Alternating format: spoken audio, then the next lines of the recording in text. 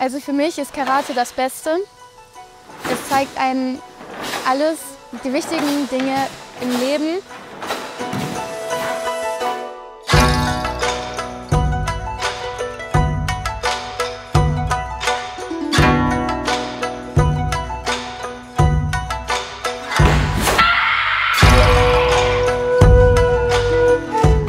Der Kiai stößt sozusagen die ganze Kraft aus.